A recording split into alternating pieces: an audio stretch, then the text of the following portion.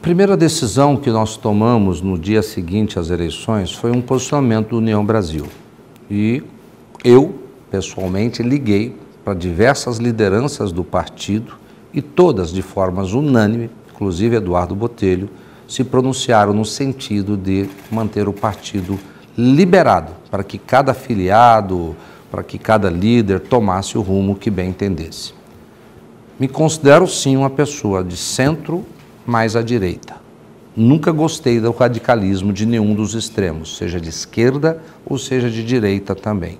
A virtude sempre esteve no equilíbrio, mas me considero centro-direita.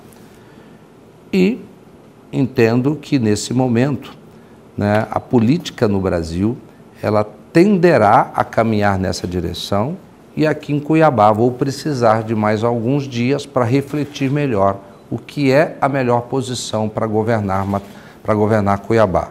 Entretanto, já adianto, independente de qualquer resultado, Cuiabá vai continuar contando com o governador Mauro Mendes e com o governo de Mato Grosso. Politicamente, vou decidir primeiro o meu voto e depois se vou participar apoiando. Mas se for, muito provavelmente será no centro-direita. Abílio, no caso do Abílio.